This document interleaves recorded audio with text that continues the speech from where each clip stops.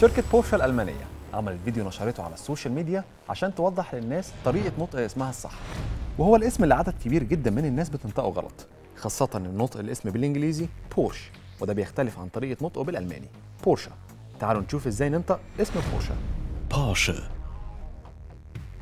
Porsche. Porsche. Porsche. أخيرا ظهر ال trailer الرسمي الأول لفيلم Fast and Furious 8 اللي منتظره عدد كبير من عشاق سلسلة الأفلام المعروفة. الجزء الثامن من Fast and Furious هيكون اسمه The Fate of the Furious وهينطلق في دور العرض السينمائي في 12 إبريل 2017 واتصورت أحداثه في كوبا، نيويورك وأيسلندا. Phase two. Phase two? What's phase two? Pounds away. You.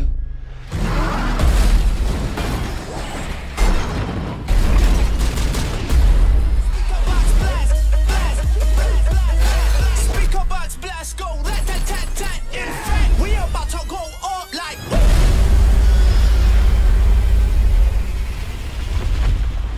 مخرج سلسلة أفلام Transformers مايكل باي نشر من خلال صفحته على تويتر أول إعلان لجزء الفيلم الجديد واللي هيكون اسمه The Last Knight الفيديو بيظهر فيه مجموعة العربيات الجديدة اللي بتسجل أول ظهور ليها في السلسلة ومن أهمها لامبرجيني من طراز سنتيناريو السوبر المحدود واللي سعرها بيوصل لحوالي 2.5 مليون دولار الفيديو كمان بتظهر فيه طرازات تانية من ضمنها نسخة خاصة من فورد موستنج على شكل عربية شرطة.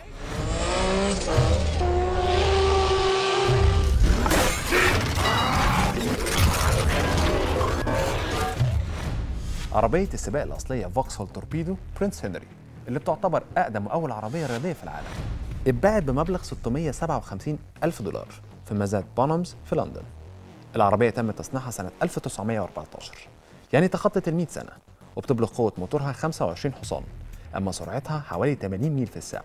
وتعتبر برنس هنري من بين أكثر العربيات النادرة في العالم متبقي منها سبع نسخ بس. بيرجع تصميم العربية للمهندس الإنجليزي لورنس بوميروري واللي صممها خصيصا لرجل الأعمال الإنجليزي بادجي روي وامتلكها ريج لونج لمدة 46 سنة لحد وفاته السنة دي. Dodge أضافت خاصية جديدة لطرازها Challenger وهي عبارة عن خاصية الدفع الكلي للعجلات. الخاصية الجديدة هتساعد على تحسين مبيعات Challenger قدام منافسيها فورد موستنج وتشيفروليه كامارو خاصة إن العربيات الثلاثة عمرها ما توفرت فيها الخاصية دي قبل كده واللي هيكون ل Dodge Challenger الريادة فيها. الخاصية هتتقدم في طراز جديد اسمه Challenger GT هيكون مزود بموتور V6 Pentastar سعته 3600 CC وقوته 305 حصان بالإضافة ل gearbox automatic 8 سرعات. وهتتعرض رسميا في معرض ديترويت في يناير.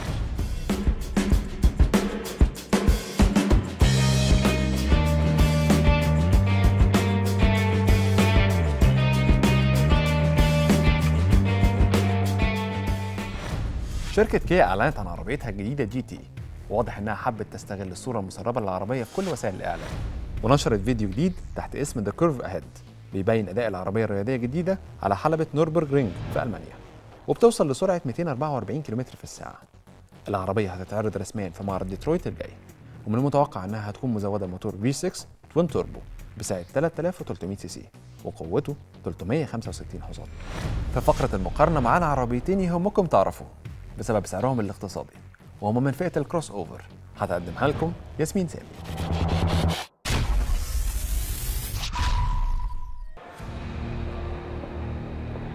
العربية اللي معانا النهاردة عربية جديدة في السوق المصرية وكمان عالميا كان أول ظهور ليها سنة 2015 وهي لسه في أول جيل ليها. العربية بتنتجها الشركة الصينية BAIC أو زي ما هي معروفة في مصر باسم بيك بتوردها طبعا الشركة لعدد من الدول في آسيا وأفريقيا وفي دول الشرق الأوسط.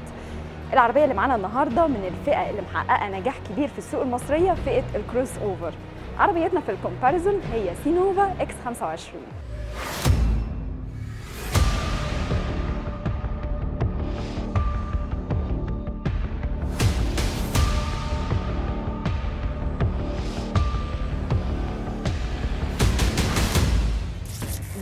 إن العربية من فئة ال crossover لكن رغم كده مش هنقدر نقارنها بعدد كبير من العربيات من نفس الفئة دي لأن العربية سعرها بيعتبر معقول جدا في فئتها. علشان كده بتكون دي ميزة لصالح المستهلك اللي عايز يركب عربية SUV بسعر معقول بيكون اختياره مناسب جدا للعربية. ومن العربيات اللي بتنافس سينوفا X25 بريليانز V3 و V5 و JAC S3 و JAC S2 اللي هتكون معانا في المقارنة باعتبارها أقرب الموديلات الصيني المنافسة ال X25 في السعر.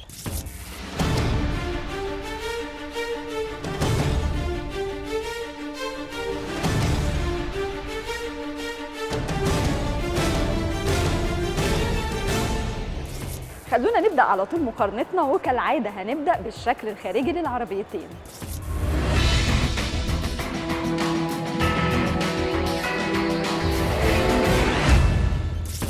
تصميم سينوفا X25 رياضي جدا ومختلف في فئة ال crossover. ده بيبان من الخطوط الحادة والواضحة في العربية وكمان في تصميم الفوانيس الأمامية والاكسدام والشبكة وال fog lights الأمامية والخلفية والجنوط 16 بوصة ومرايات كهرباء وشكل السقف المدمج مع الجزء الخلفي واللي بيخلي تصميم العربية انسيابي جدا. تصميم جاك إس 2 كمان رياضي وعملي من الدرجة الأولى وفيها لمسات جميلة وتفاصيل متنوعة بتأكد بوضوح على شخصية العربية. وده بيبان في الفوانيس والشبكة وفتحات التهوية اللي بيخلوا شكل العربية مختلف عن أي عربية تانية من نفس الفئة. وكمان بتنزل بجنوط 16 بوصة وال fog lights الأمامية والخلفية ومرايات الجنب تحكم بالكهرباء. جنب العربيتين قريبين جدا من بعض وبيدوك إحساس إنك قدام عربيات عائلية. ده لأن الطول في جنب العربيات بيخلينا دايما نستنتج إن العربية من جوه أكيد واسعة. ده اللي إحنا هنشوفه وإحنا بنتكلم عن الأبعاد دلوقتي. طول الاكس 25 4 متر 11 أما جاك إس 2 طولها 4 متر 13 عرض العربيتين زي بعض متر 75 أما ارتفاع سينوفا متر 58 أما جاك أقل بحوالي 3 سنتي. طول قاعدة العجلات في جاك إس 2 بيكون 2 متر 49 وفي سينوفا إكس 25 2 متر 51 اللي بيكون وزنها طن 153 أما جاك وزنها طن 550 مساحة الشنطة في سينوفا 300 لتر وبتكون أكبر في جاك بتوصل ل 450 لتر. وطبعا ممكن نزود المساحة لو قلبنا الكنبة اللي ورا. يعني العربيتين تقريبا قريبين من بعض جدا. في بينهم بس فروق بسيطة. تعالوا دلوقتي نفتح الكبوت ونشوف مواتير العربيتين عاملين إزاي.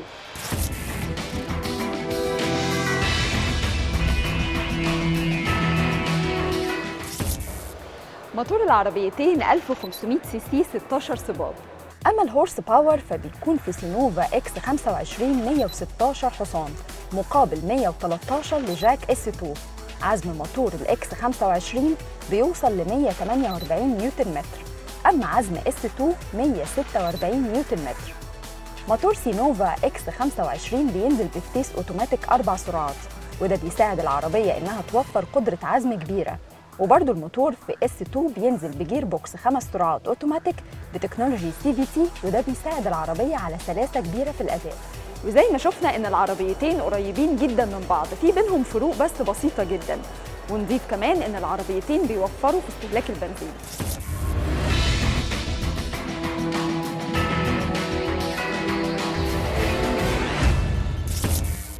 طبعا زي ما إحنا شايفين إن صالون العربية السينوفا إكس 25 شكله شيك جدا وبيتميز بالطابع الرياضي. وده واضح من حاجات كتير موجودة في العربية زي استخدام الألوان سواء في الفرش أو على الأبواب والكونسول الأمامي. كمان في توزيع متناسق جدا لزراير ومفاتيح التشغيل المختلفة الموجودة في العربية. العربية السينوفا الإكس 25 موجودة في فئتين ال high line وال fashion. وطبعا كل فئة فيها تجهيزات بتختلف عن التانية. تعالوا نتكلم بمزيد من التفاصيل عن التجهيزات وال options اللي موجودة في العربية. إمكانية تحكم في ارتفاع الفوانيس الأمامية بفوانيس حساسة للإضاءة. نظام الصوت مع مشغل اسطوانات.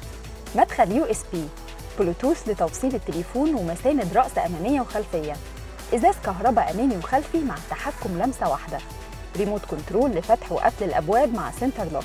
كاميرا ركن خلفية دريكسيون multifunction cruise control كمبيوتر رحلات و power steering وتكييف أوتوماتيك.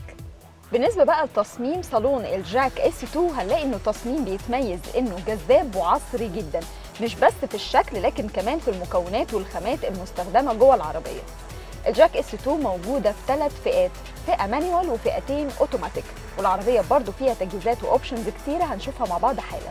تحكم في ارتفاع الفوانيس الأمامية ونظام الصوت مع مشغل إسطوانات ومدخل يو إس بي إي يو إكس بلوتوث شاشة 7 بوصة مساند رأس أمامية وخلفية إزاز كهرباء أمامي وخلفي مفتاح ريموت مع ال center lock تحكم في ارتفاع كرسي السواق كمبيوتر رحلات power steering طارة multifunction cruise control حساسات ركن إضاءة نهارية DRL وتكييف أوتوماتيك.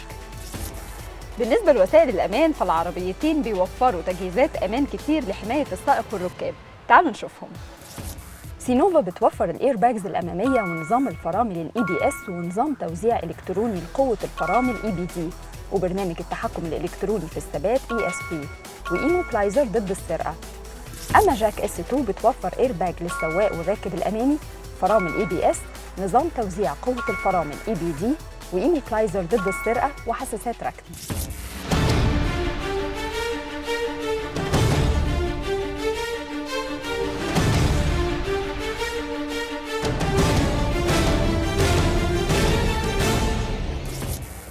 بكده إحنا تقريبا قلنا كل حاجة عن العربيتين. خلوني دلوقتي أقدر ألخص لكم بعض الفروق الأساسية في كام نقطة علشان تقدر تختار أنهي عربية الأنسب ليك. على مستوى الشكل الخارجي واضح إن كل عربية ليها المميزات اللي بتخليها مختلفة وجذابة لعدد كبير من العملاء. متوسط استهلاك البنزين في إكس 25 حوالي 6.8 من عشرة لتر لكل 100 كيلو. وفي جاك إس 2 متوسطه حوالي 6.6 من عشرة لتر لكل 100 كيلو. يعني جاك متفوقة بنسبة صغيرة. هنلاقي إن العربيتين بيحظوا بدعم من مجموعة القصراوي اللي بتوفر كل خدمات البيع وما بعد البيع لعملاء سينوفا وجاك في مصر. أخيرا على مستوى السعر هنلاقي إن سعر العربيتين قريب جدا لكن سعر سينوفا إكس 25 أقل بفرق قليل شوية. متهيألي إنكم المره دي هتحتاروا جدا في الاختيار بين العربيتين لأن زي ما شفنا إنهم قريبين جدا من بعض في حاجات كتير جدا. لكن إحنا عملنا اللي علينا وعليكم أنتوا تختاروا.